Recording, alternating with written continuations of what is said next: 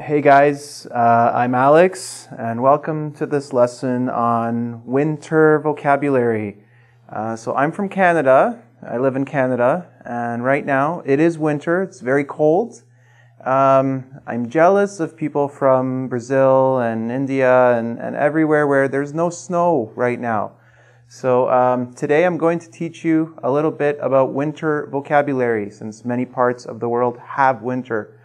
Um, okay, so I have some pictures, and they they all represent things related to winter. So these these pieces of ice that hang down, you know, from either a building, a roof, something. Um, they're hard. They can hurt you.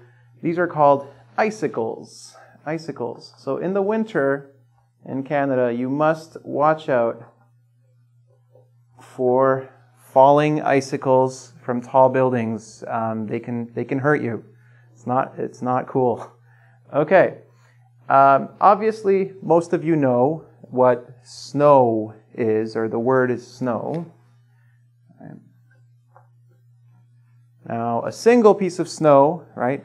Each each little piece of snow we call a snowflake. So one piece of snow, if you can call it a piece of snow, is a snowflake.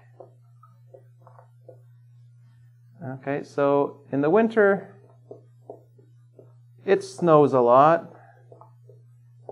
And if you look outside, you can use the verb and you see snow falling, you can say, it's snowing. Okay, just like raining, but snowing.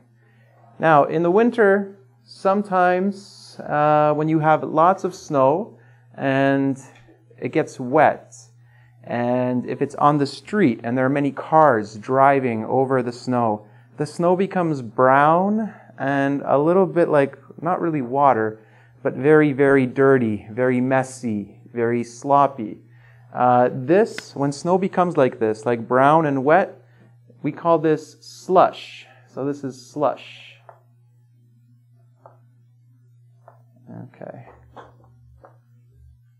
So we can say, if I ask you, how is, how is the weather outside? Uh, I can say, it's slushy.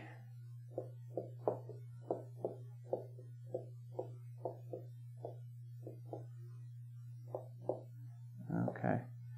So slush is not good for your shoes because it, it, the water gets into your socks and it's not it's not a positive a good feeling. It's not a good feeling. Okay. Here we have an unfortunate situation. Uh, there's a man, maybe a girl, and they're walking on the street and then suddenly, whoa, they almost fall because there's ice on the floor, right? There's ice on the street.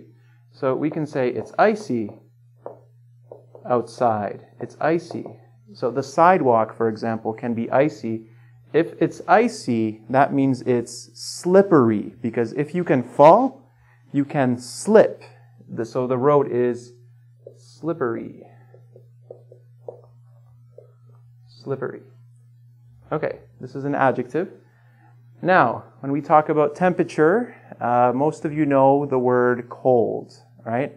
So, and when you start from the top, you know, we have hot and everything like that, but if we start from cold, let's put cold over here.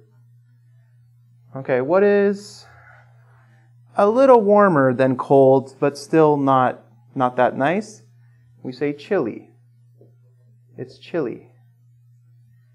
Okay? What's a little bit warmer than chilly, but still not warm, is cool. So we have cool, chilly, cold. So think about it this way cool, eh, not bad. It's okay. It's cool. Chilly, okay, I need a jacket. I need a jacket. It's getting chilly. Cold, okay, it's cold. Then the worst one, we have freezing. It's freezing. Now, freezing is like this. You're shaking. It's very, very cold. It's freezing. Okay? Um, okay, guys. So, if you ever visit my country, come to Canada, be prepared, have a winter hat, winter jacket, be prepared, watch for icicles. Don't go out in the snow when it snows too much, although it's pretty. Uh, stay away from slush if you want your shoes to be dry. Um, don't fall. Just don't fall. That's it. Okay, guys, if you want to test your understanding of this uh, vocabulary, check out the quiz on engvid.com. Take care, stay warm, happy holidays, even though that's in December. Um, enjoy your winter. Take care.